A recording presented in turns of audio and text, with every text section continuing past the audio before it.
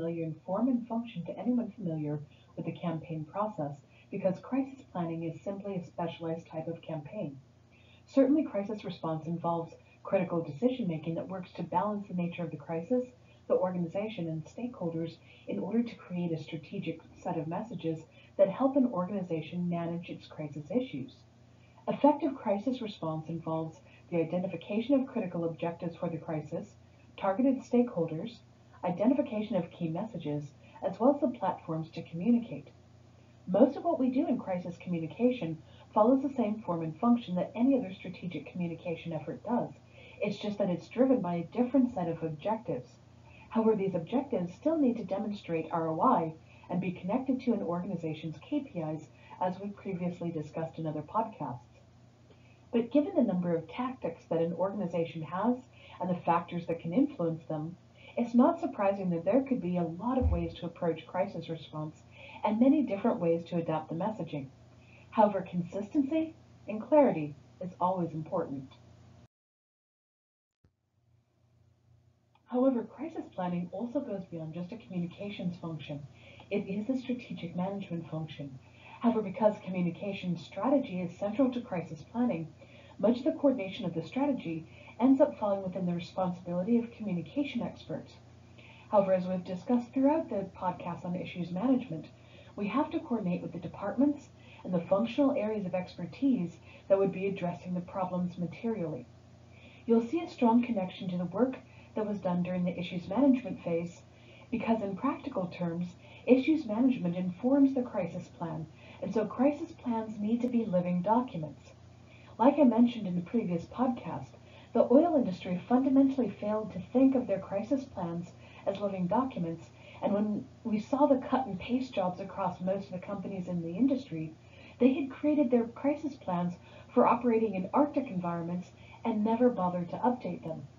What this also means is that operational crisis plans should be concise documents and not treatises on the topics.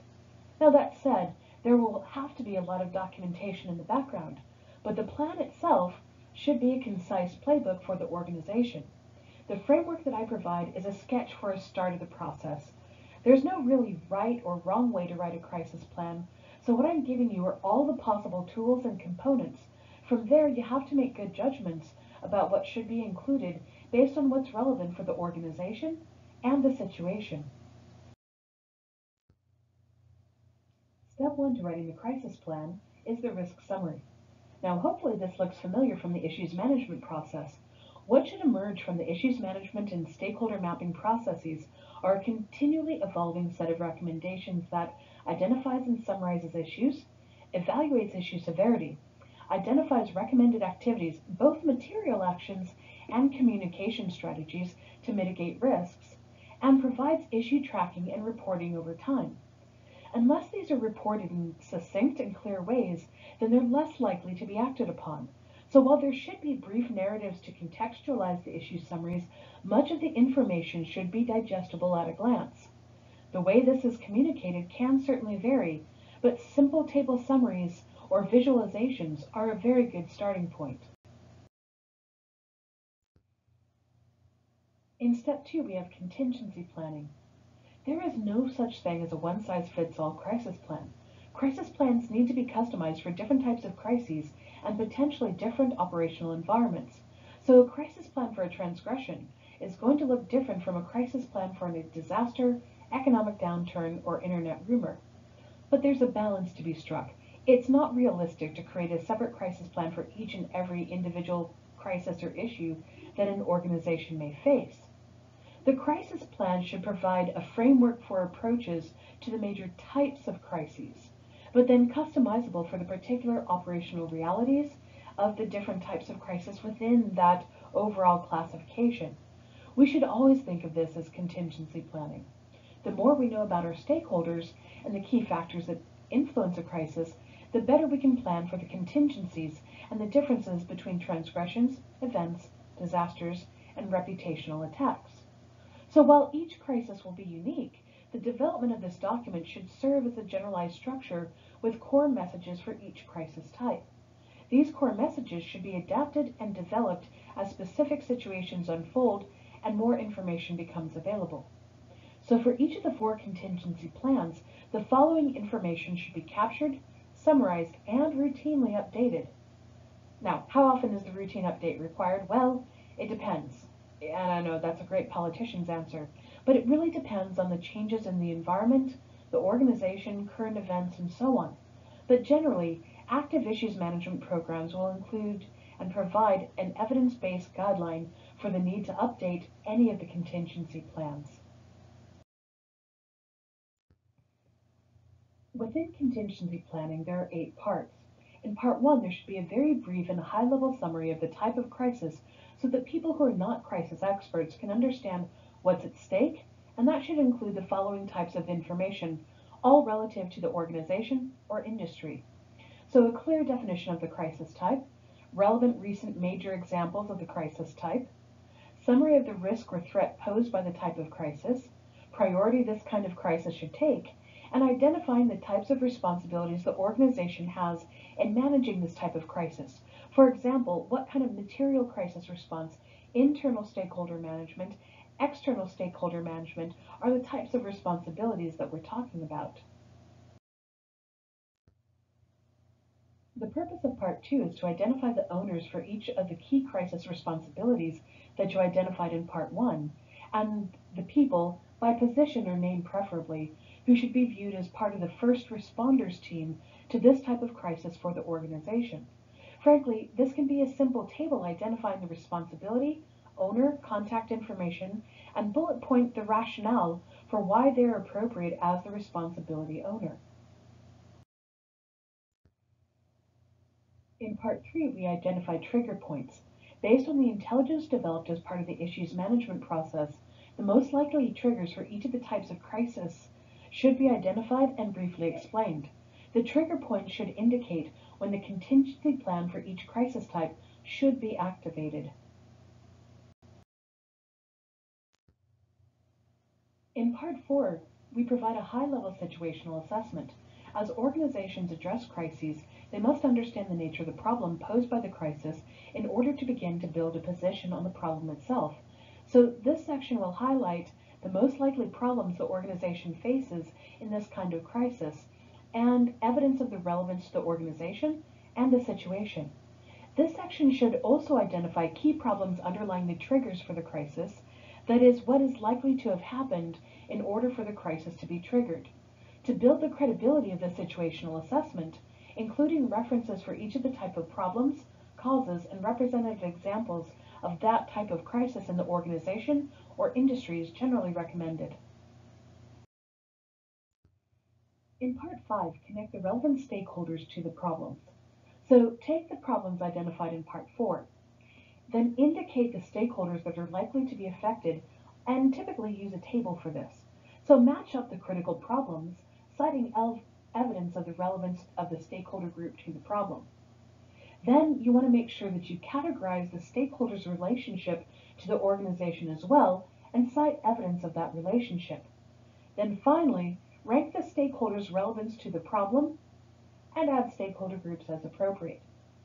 What this is doing is it's connecting the issues management process with the stakeholder mapping process and providing evidence that the organization has about the stakeholders' relationship to the issue or problem and the organization.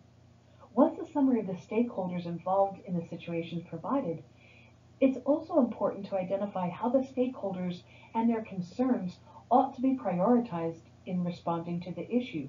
So the narrative for this should rank the stakeholders based on the most important stake in the crisis and briefly explain the stakeholders' key concerns for example, are they directly related to the problem?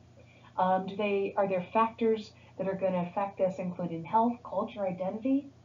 But it's important that all of this throughout is evidence driven and that you cite the evidence throughout. In part six, action recommendations are taken. Once the team, problems, and stakeholders are all identified, the organization must identify and prioritize actions that ought to be taken at the onset of the crisis. So you provide an overview of the best types of actions the organization can and should take in order to provide material support. Remember, actions can include the material actions, but they can also include the communicative ones.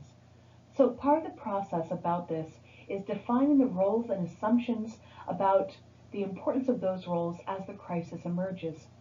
Examples of the types of roles that could be adopted include, and this isn't an exhaustive list, but a bit of a summary one, but it can include leading the material problem solution where that's relevant, a clarification of the industry standards and organization's compliance needs, um, identifying the protector of the organization, identifying activists for the organization and providing advice, identifying the spokespersons, uh, gathering and analyzing situational information, how the organization should go about communicating with members of the organization itself, offering guidance how the organization should communicate with the media or other agencies.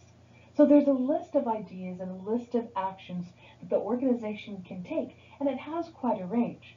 But compiling the recommendations from the risk register, the roles that are needed with research on this type of crisis, and so you create a concrete and tangible list of actions that should be taken, identifying the urgency and importance of each, the role to support it, and most importantly, the resources required in order for the organization to take action. In order to successfully respond to the crisis, the organization should have an agile crisis response strategy ready to deploy. This should involve an initial crisis response as well as an overall set of response strategies and primary messages. Remember that initial crisis response should be based on the following best practices. Providing an initial statement as soon as possible, and that's really within the first hour. Being accurate in reflecting facts related to the situation. Being consistent by keeping spokespeople informed of the crisis and key messages. Making stakeholder welfare a top priority using all available communication channels, communicate empathy if people are affected, and being ready to provide and direct stakeholders to trauma and stress response units. Identify and summarize then the theories that would be most relevant to helping the organization structure its initial talking points for this type of crisis by providing a brief summary of each of the recommended theories. So to do this, you would include, you would name the theory, you would identify the key target factors. So for example, EPPM targets susceptibility, severity, and efficacy order to help develop messages and ensure that people can enact danger control responses and avoid fear control responses. Then, in identifying that, you should identify the measurable objectives in the crisis response. And this should serve three functions. First, to identify how the crisis response will demonstrate a return on investment. Second, identify how the crisis response is aligned with the organization's KPIs. And third, identify how the crisis response is aligned with the organization's mission. After that, you would identify the crisis-related tactics. And it's necessary to have initial talking points to address the situation. And for each talking point, it needs to identify the talking point's relevance to the situation or problem, the stakeholders the talking point is directly addressing, the information that will be needed to support the talking point, and the appropriate platform or platforms for communication or engagement. See, the objective of this part is to develop the organization's playbook to respond to the crisis. It should provide an adaptable set of options for the organization to enact from the communication standpoint. So a couple of common questions that I'm asked include, should the playbook include multiple theories? Yeah, because as we discussed, different theories target different crisis response needs. But the playbook should focus on the most appropriate approaches based on the convergence of the situation, stakeholders, and organization's position. A second common question that I'm asked is should the key talking points mix and match from across different theories? And I would say a cautious no. Crisis responses should be well aligned across different stakeholders. Using a single theory to guide talking points ensures message alignment to different stakeholders tailored to the situation. However, situations can change, so it may be necessary as a crisis develops to change the strategy.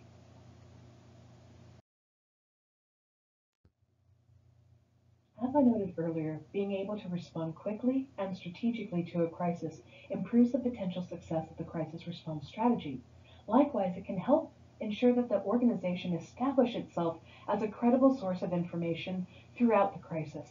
Having samples of key messages prepared ahead of time for each of the potential response strategies identified gives the organization a decisive advantage in ensuring its initial crisis response is as successful as possible, aligned with the organization's objectives, and builds the organization's credibility. These will, of course, have to be adapted to the particulars of the situation, but it will make the initial response effort more efficient, aligned, and polished. Recommended message samples to have ready for each strategy would include a one to two minute statement about the situation, a brief backgrounder on the organization's history with the issue and the stakeholders, a sample fact sheet, a sample press release, a sample social media post, and I would say suggest one customized for each outlet used by the organization, and relevant visual materials or multimedia materials. Of course, these can be adapted, but they should be fully written out because it's much easier to revise in order to adapt to a particular situation than to write on the fly. The whole point of the crisis plan is that it's a sketch that gives the starting point and identifies the key factors organizations can control during a crisis. It's not a document that's written in stone and should never be viewed that way. It is a living document, but it's one that needs to be useful and adapted. So there is a considerable amount of customization based on the organization, industry, and situational needs.